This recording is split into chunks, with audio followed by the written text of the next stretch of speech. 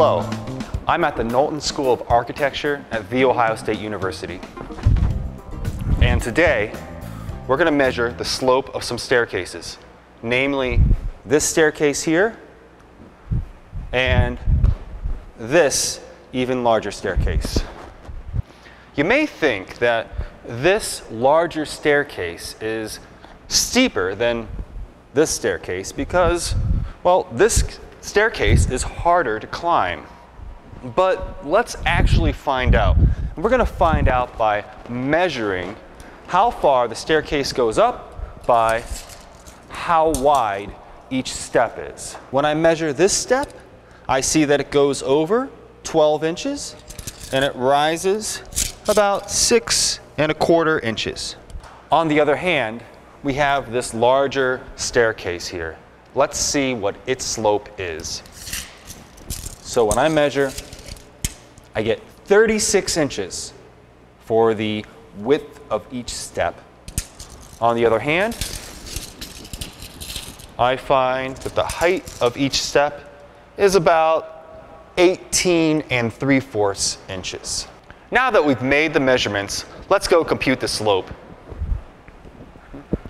So we've measured our stairs, and we found out that the small steps went up by 6.25 inches, and they were 12 inches wide, okay? This gives us a slope for the small steps.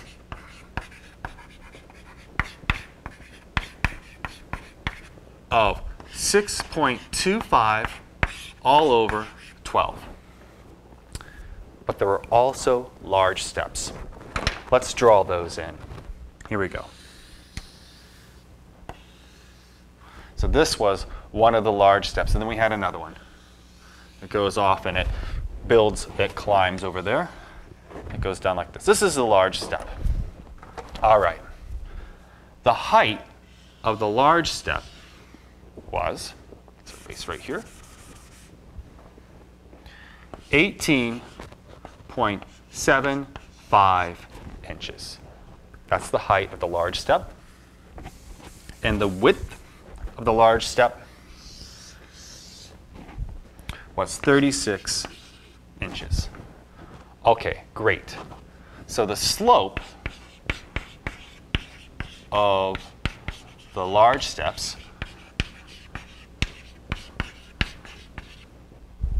is 18.75 all over 36. These two slopes are the same because we can simplify, we can reduce this fraction to be dividing the numerator by 3 and dividing the denominator by 3, we get 6.25 over 12. And we can see if we connect the tips of these stairs with a line, uh, this makes a line of the desired slope. And see how the large stairs and the small stairs all meet at the corner with this line. The fact that the staircase with the large steps and the staircase with the small steps have exactly the same slope is evidenced by the fact that they have the same railing. There's the railing for the staircase with the large steps, and here's the railing for the staircase with the small steps. And they're exactly at the same angle. So we've seen that the staircase with the larger steps and the staircase with the smaller steps actually have exactly the same slope. Now let's use the slope to estimate how tall the staircase is after you've gone a certain distance in the horizontal direction. How high up am I now? Here you can see that we have a tape measure where we're measuring the width or the horizontal distance that I traveled here on the staircase. And if we get to the point where I was standing, we'll find out that it's about 23 feet. Now, how high was I standing when I was up there? So now that we've made our calculation, let's check our calculation. Okay, now we have a question.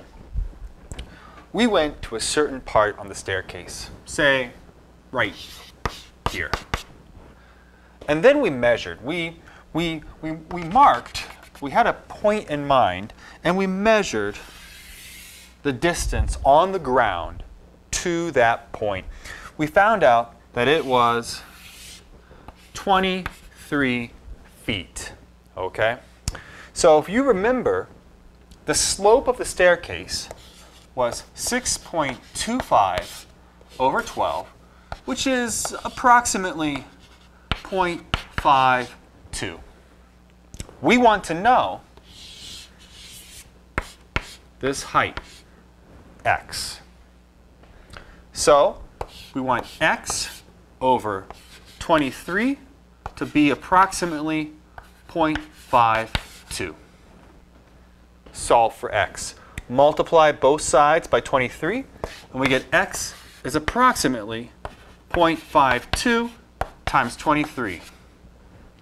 0.52 times 23 is 11.96. So x is approximately 12 feet.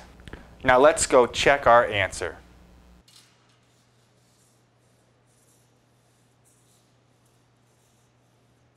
So here we are checking our measurement. And I can see it's almost exactly 12 feet.